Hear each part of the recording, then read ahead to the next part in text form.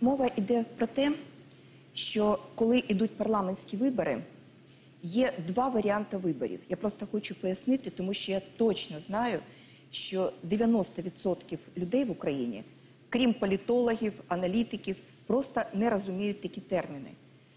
Мажоритарні вибори це коли йде один окремий депутат без списку, без партії, іноді самовисуванням, і на мажоритарному окрузі балотуються.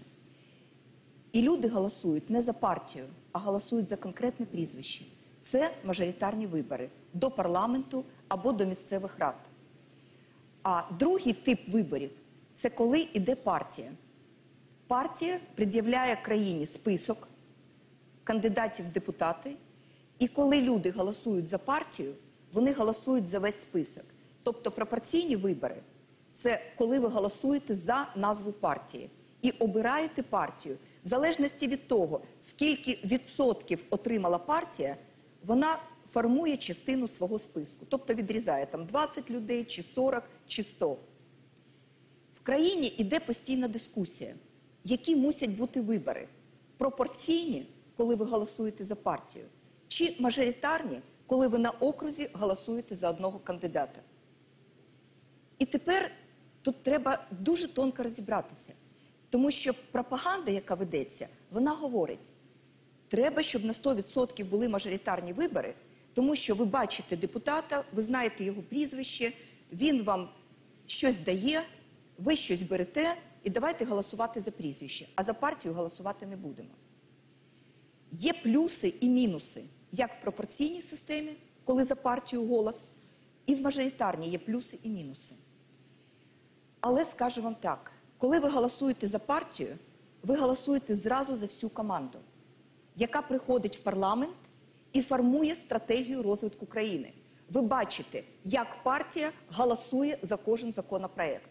Ви точно бачите, яка позиція партії за другу російську мову державну чи проти.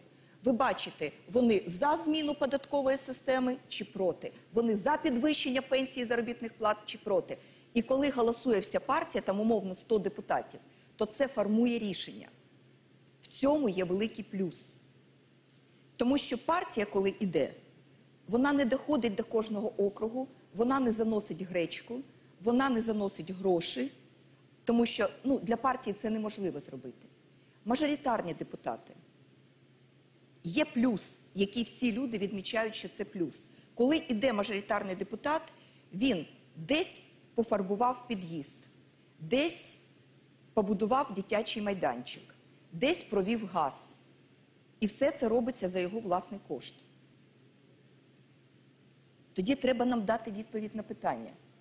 Якщо депутат вкладає в усю цю розкіш свої кровні гроші, то питання номер один де він їх взяв?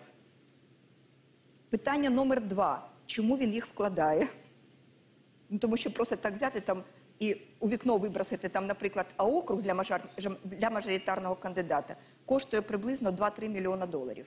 Щоб ви це просто знали.